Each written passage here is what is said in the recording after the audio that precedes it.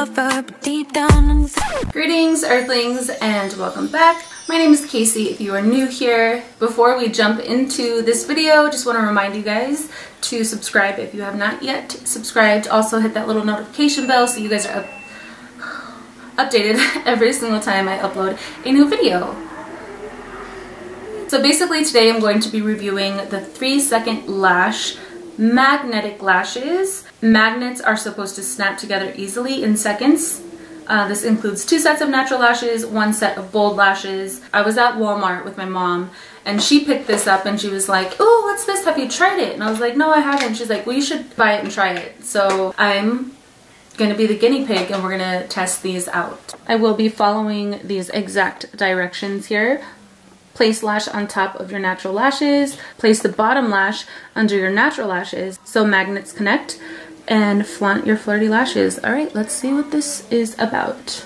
And as far as the price, I think this was $29.99. So basically you get this like little tweezer things which are not good at all. They're like very flimsy. The wind is windy today. so like it says, I'm gonna take the top, all right, and I'm gonna place it on top of my lashes. I already have mascara on. I don't like these, they're not working for me, so I'm just gonna use my hands. I'm gonna place that, and then I'm gonna take the bottom piece and I'm gonna all right, so they're stuck together. My natural lashes are in between the two. And you definitely want to put this on the outer eye. So this concept is actually really genius. It's a great idea. However, it's not like wearable. I think that they need to redesign this a little bit. As you can see, it's just like my lashes and then boom, like what, you know, like what's, what's going on. Let's do the other side. So I'm to put that on my top lashes. I thought maybe if you put this in the middle, it wouldn't look as weird, but it still looks weird as fuck.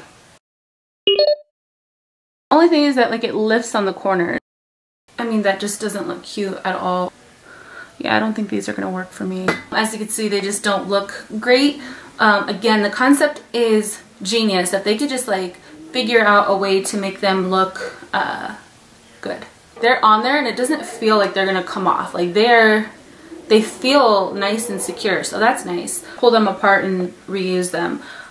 I wouldn't recommend them. I do have a video how to apply false eyelashes This wind is so gnarly. It's within like 60 seconds, like a minute. It literally takes me like 30 seconds to put my false lashes on just because I've been doing it a long time too and I wear them often. So, you know, the more you do something, the better you're gonna get at it. I'm gonna go ahead and leave that video down below. It's an old video of mine. I still do my lashes that exact same way. So that video may be helpful. Try it out. Be patient. Don't give up.